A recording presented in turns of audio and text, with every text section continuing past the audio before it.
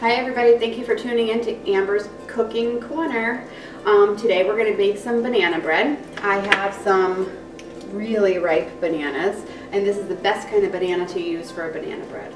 Um, I'm trying not to let anything go to waste. Uh, right now while we're in the middle of filming, we're in, um, in the middle of like a quarantine right now. So we've been home, I think it's about 24 days straight right now.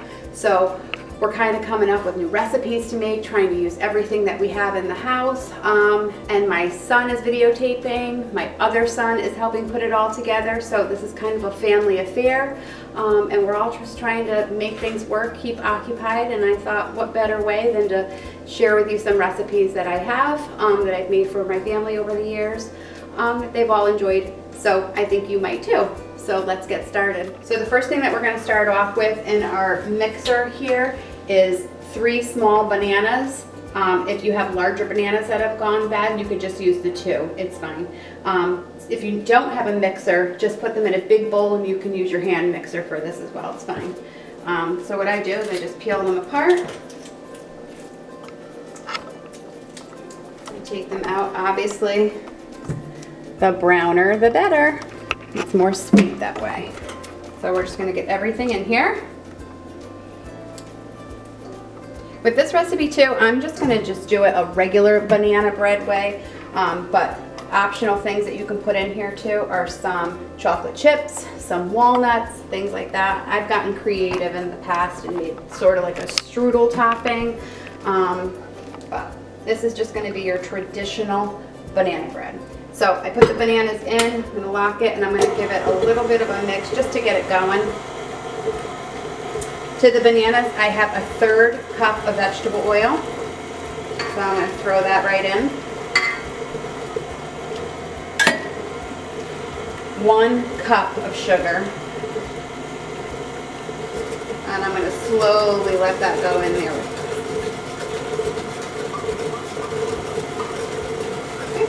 kick it up a notch there.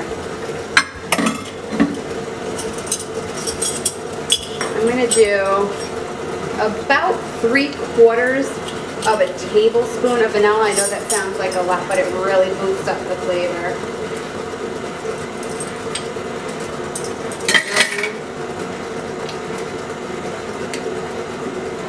Three eggs.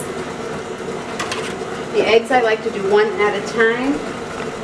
So I'm going to stop the mixer for a second, pop this open, and make sure I don't get any shells in there.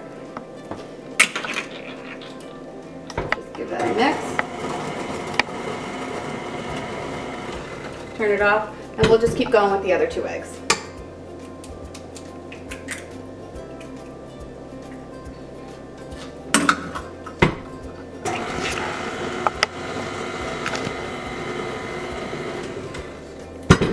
More.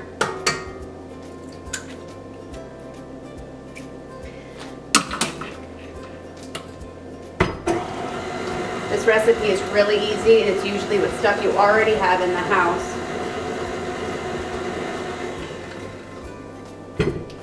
Best part about this banana bread is I use it with a baking mix, something like a Bisquick, so you don't have to use any of the salt and leavening agents you'd have to use in any other kind of baking.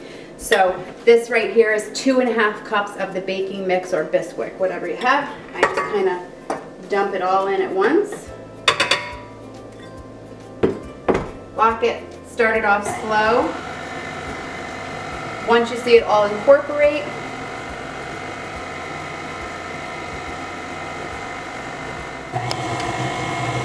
Once you see it's all incorporated, you can kind of kick it up a little bit just to really make sure it gets mixed in there. I open it up, scrape the sides, and give it another little mix, and then I put it in an oven on 350 for about, this is a bread, so it might take about 40, 45 minutes, but you're gonna wanna keep checking it with a toothpick. As soon as it comes out clean, it's good, and we'll see that. So I've already mixed up the bananas. I'm just taking a regular size loaf pan here, giving it a good spray.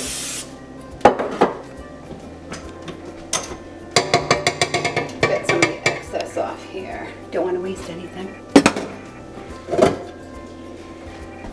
So this is what the mixture looks like, just like this. Okay. And I'm just gonna pour it right into the loaf pan, just like that. This recipe actually makes a perfect amount for this loaf pan. Okay. I usually give it a little shake, bang it to let those ear bubbles out, and then I'm gonna pop it into the oven. Okay, so the 45 minutes is up. We're gonna check the bread and I believe it's gonna be ready for you now.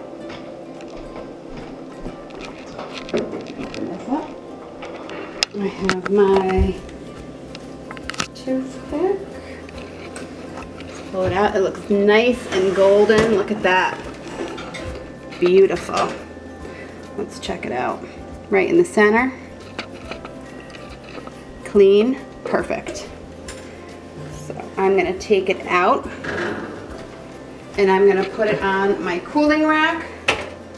I'm to let it hang out there for about maybe 15, 20 minutes, brew a nice hot cup of coffee and give it a try. So the bread's all done. It's been cooling. I'm ready to cut into it and give it a try.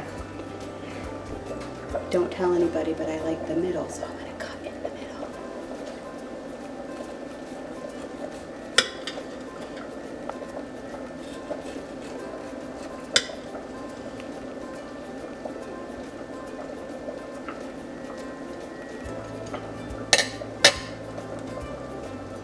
they'll notice? Hmm? Butter on.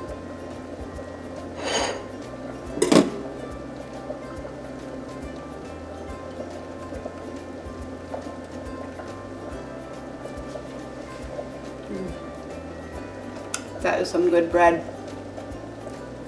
You're gonna wanna give it a try. And like I said, a nice hot cup of coffee in my Disney mug. By the way, that's all I have here are Disney mugs.